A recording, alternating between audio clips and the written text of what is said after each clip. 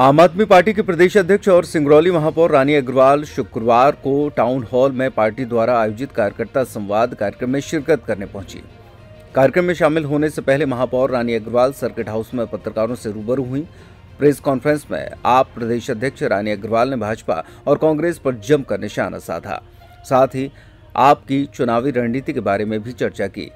उन्होंने बताया कि इस बार होने वाले विधानसभा चुनाव में आम आदमी पार्टी सभी 230 सीटों पर चुनाव लड़ेगी। इसके लिए कार्यकर्ताओं को जोड़ने का काम आम आदमी पार्टी कर रही है। आगामी समय में दिल्ली के मुख्यमंत्री केजरीवाल का प्रदेश के अलग अलग इलाकों में दौरा होगा। प्रदेश अध्यक्ष रानी अग्रवाल ने कहा कि पचहत्तर सालों से देश में कांग्रेस और भाजपा राज करती आ रही है। देश आज उस स्थान पर नहीं पहुँच सका जहाँ उसे होना चाहिए। जनता के पास इन दो पार्टियों के अलावा विकल्प नहीं था, लेकिन आज देश की जनता आम आदमी पार्टी को विकल्प के तौर पर देख रही है। जनता जानती है कि दिल्ली में केजरीवाल जी ने, जो जनता के मूलभूत सुविधाएँ होती हैं, सबसे पहले जनता को चाहिए कि अच्छे स्कूल हों, अच्छे हॉस्पिटल हों, और युवाओं के लिए रोज़गार हों, बिजली, पानी इन मुद्दों को लेकर आम आदमी पार्टी ने वहाँ पे वो काम किया है।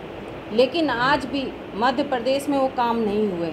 तो जनता जागरूक हो चुकी है, समझ चुकी है कि यहाँ पर मध्य प्रदेश में कितना भ्रष्टाचार फैला हुआ है। आज तक वो काम नहीं हुए, जो मूलभूत सुविधाएँ होती हैं। तो इस प्रकार जनता वोट देगी, क्योंकि पिछले कार्यकाल में आपने देखा कि उन्होंने कांग्रेस में देखा, लेकिन खरीद परोस का इस प्रकार काम चलता है कि कांग्रेस में वोट देंगे तो बीजेपी में जाएगा और बीजेपी में वोट देंगे तो कांग्रेस में जाएगा। तो जनता जागरूक हो चुकी है, समझ चुकी है। तो इस बार जनता पूरे मूड में है, परिवर्तन में, बदलाव में और एक मौका केजरीवाल जी को देगी